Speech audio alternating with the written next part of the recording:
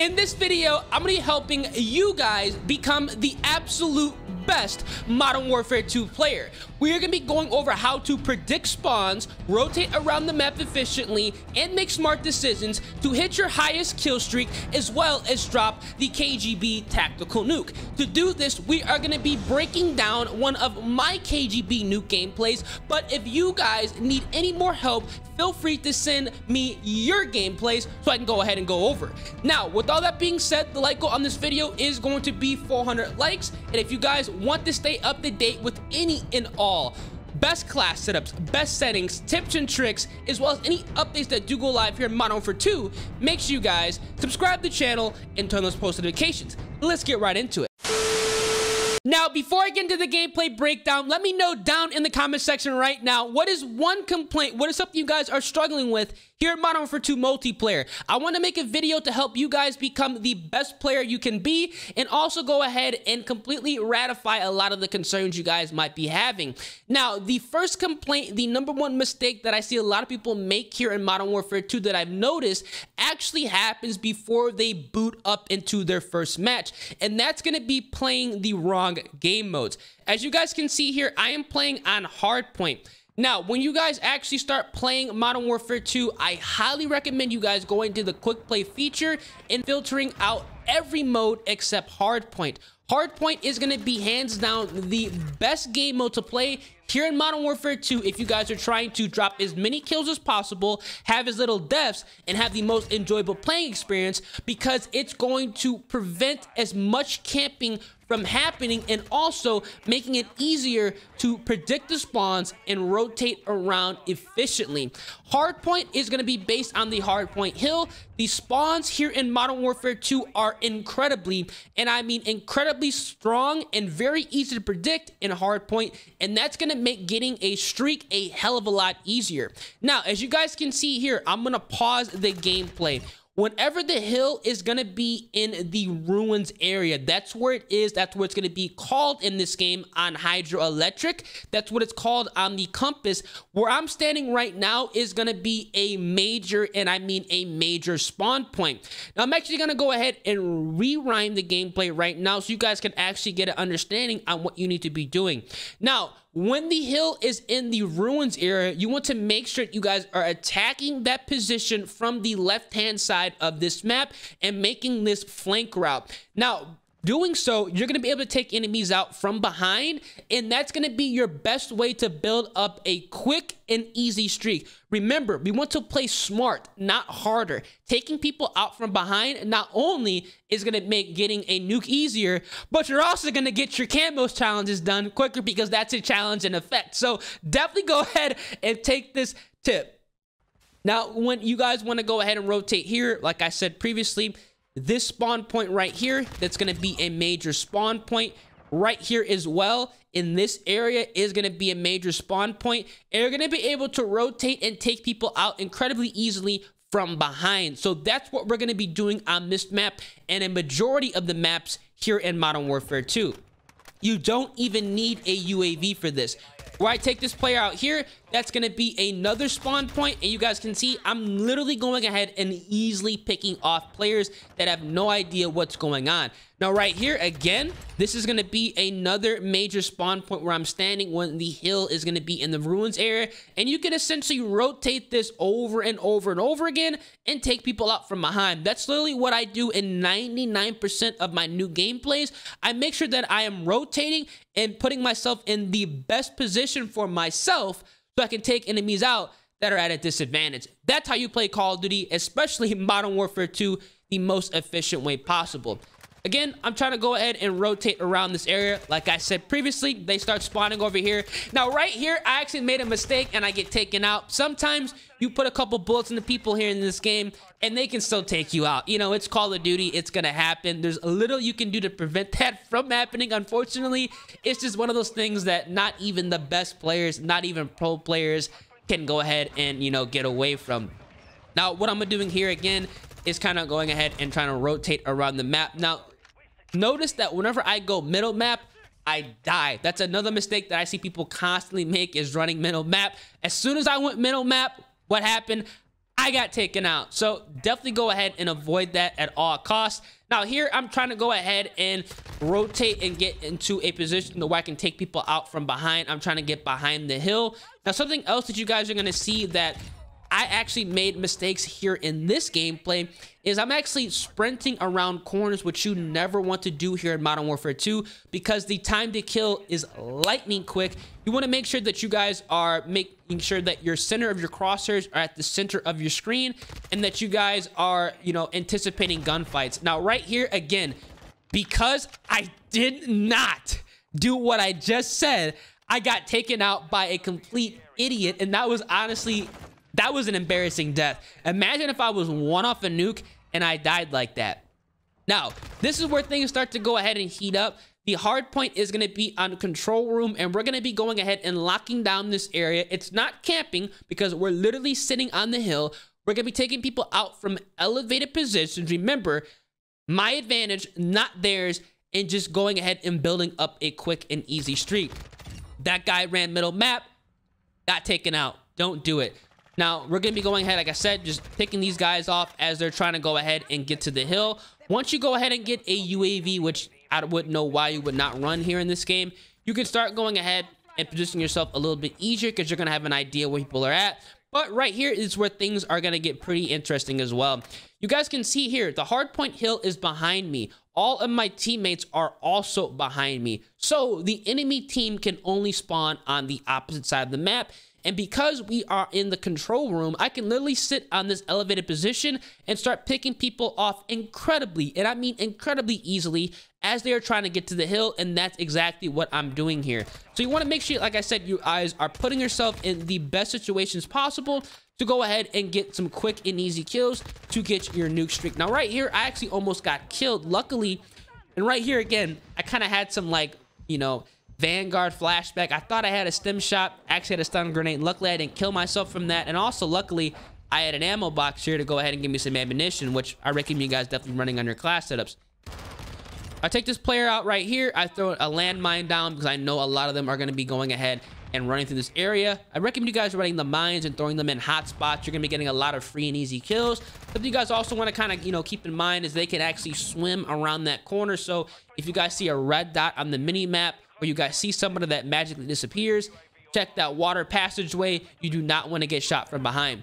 And like I said previously, when the hardpoint hill is in the ruins, it's going to be a repeat again. We're going to go ahead and take these guys out from the left-hand side of the map. We're not going to go on the right-hand side of the map here because there's a lot of headglitch they can go ahead and camp behind. And right here, I'm just going ahead and building up my streak. Now, because I actually dropped the SAE, I decided to go ahead and make a wrap here because I knew I was going to blow up as many of them off the hardpoint hill as possible. There was no way somebody was going to be sitting on a head glitch waiting for me to turn the corner. Now, right here, I'm trying to go ahead and take people out from behind as quickly and as easily as possible to go ahead and continue my streak. I'm on an 11 gun streak right now, man. I still need quite a bit of kills to get the nuke, so I need to go ahead and kick up the pace. There's 150 points, you know, already into the hard point game. I don't have all day, so I have to go ahead and rotate efficiently. Now, right here, I'm kind of using my teammate as a shield. Teammate shielding is something that you guys definitely want to go ahead and do here in Modern Warfare. If you have an idea that an enemy is going to be around the corner and your teammate is, you know, going to run that corner before you do, let him do so. You might miss out on a kill, but you also might miss out on a, on a death. So it's going to be one of those things that you rather be safer than sorry.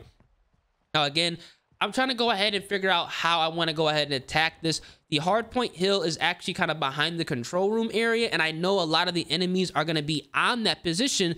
So obviously, I'm not going to bust through the control room and risk death. Now, again, I see a lot of my teammates going that way. I decided to go ahead and try to make this outskirts push here. Now, again, I did go through middle map, but sometimes you have to do it if you are low on time.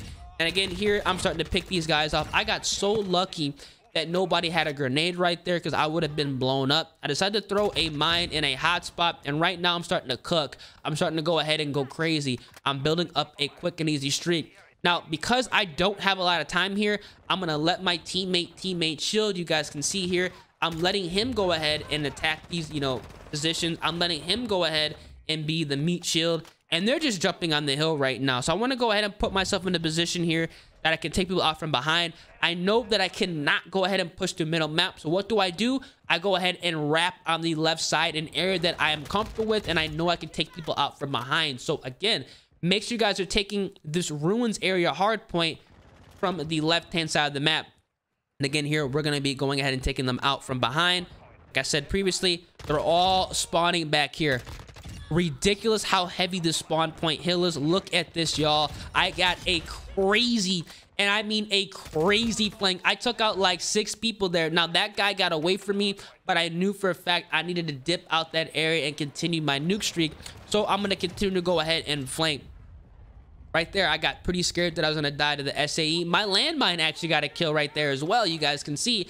I just have to go ahead and throw a landmine on a hot position there. I know they like to go ahead and rotate through that area. Nothing wrong with throwing mines down. Make sure you guys put them in spots that you know people are going to come from. Free and easy kills. Now, again, because I know they're trying to rotate around this area, I do not want to bust through the control room that quick because I know somebody could be head glitching. I'm on a brutal right now. I'm five off the nuke. I'm trying to go ahead and play smart. We're going to let my teammates kind of be meat shields here. Rotating up here as well. I'm going to get onto the elevated position. My teammate is to my left. I see my teammate got taken out.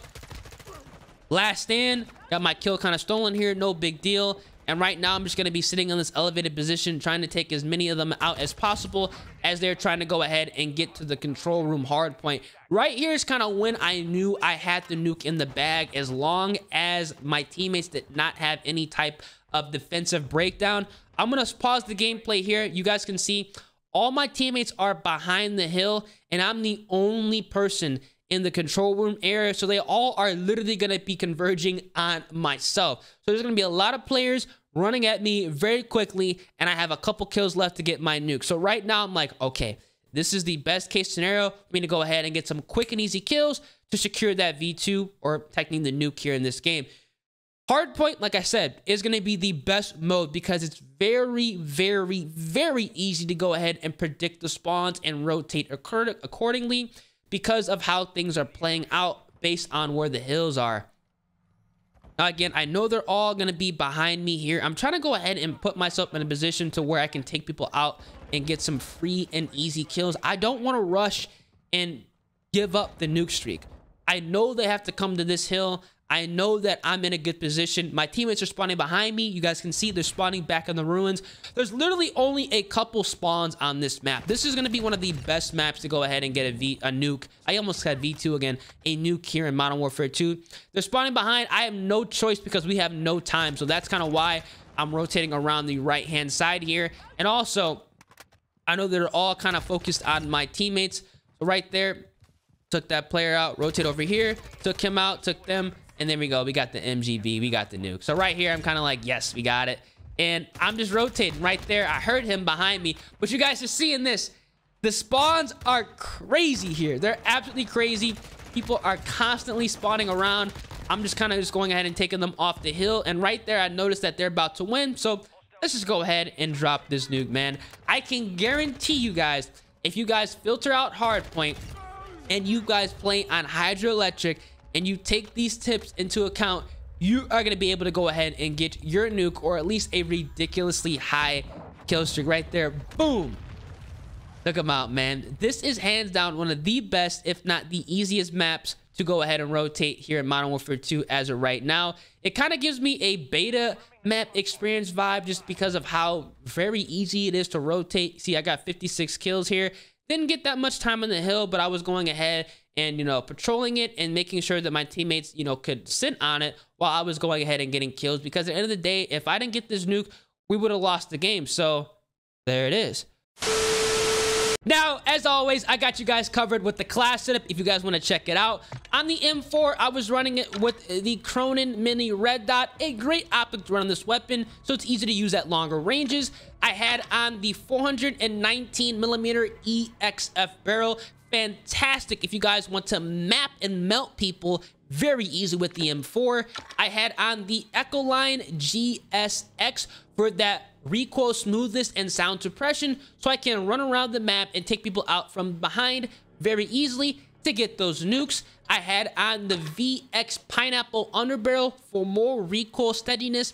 And then finally for the rear grip, I was running the X10 grip to bump up that sprint to fire speed and aim down sight speed, giving this weapon a little bit better close range handling. Definitely a solid class that you guys should check out. And the remainder of the build, I was actually running the Vel 46 these attachments are kind of irrelevant. I just had on the pineapple as well as the laser sight. Don't have this gun leveled up yet, but meat and potatoes. I had the stun grenade, the proximity mine, and I was running the assault perk package, which gives us overkill scavenger, hardline, as well as quick fix with the munitions box. Definitely a solid loadout that I dropped a couple V2s or nukes with here in Modern Warfare 2. So you guys enjoyed the video and these tips did help you guys out. I named off a bunch and I know you guys will definitely be able to improve from these. Make sure you guys drop a like on the video, subscribe to the channel, and turn those post notifications. It's been your boy Ears, and I'm gonna catch you guys in the next one. Deuces.